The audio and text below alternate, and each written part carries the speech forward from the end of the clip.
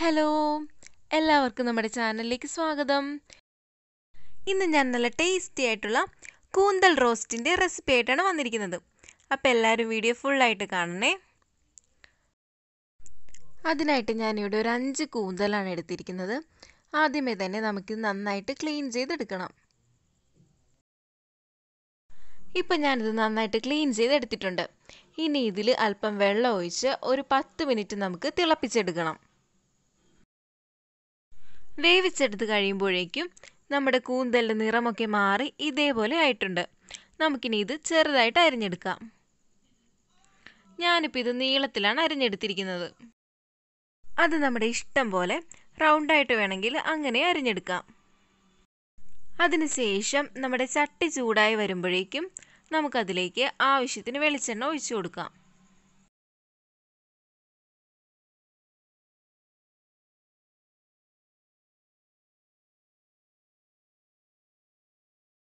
എണ്ണ ചൂടായി വരുമ്പോഴേക്കും അതിലേക്ക് ഒരു വലിയ സവാള നീളത്തിലരിഞ്ഞത് ചേർത്ത് കൊടുക്കാം.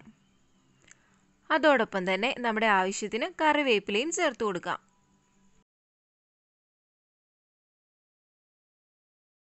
എന്നിട്ട് നമുക്ക് നന്നായിട്ട് ഇത് വഴറ്റി കൊടുക്കാം.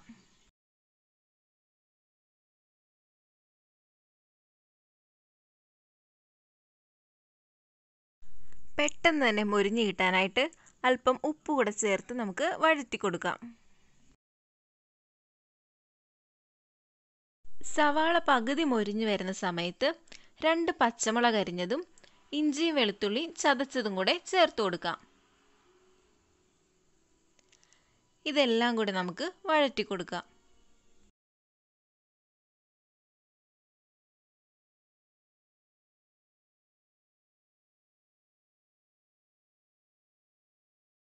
ഇപ്പം നമ്മുടെ സവോള ആവശ്യത്തിന് മൊരിഞ്ഞു വന്നിട്ടുണ്ട്.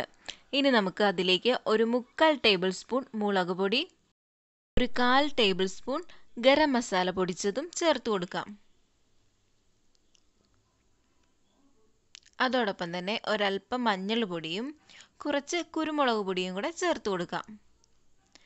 ഇനി ഇതെല്ലാം കൂടെ നമുക്ക് നന്നായിട്ട് വഴറ്റിയെടുക്കാം.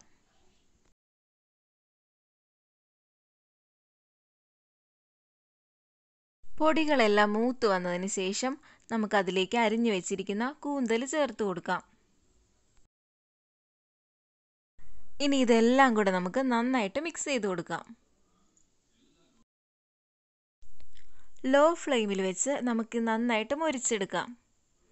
നമ്മുടെ കൂന്തൽ ഓൾറെഡി കുക്ക് ചെയ്തതുകൊണ്ട് ഒരുപാട് സമയമായിട്ട് വേവിക്കേണ്ട ആവശ്യം വരുന്നില്ല.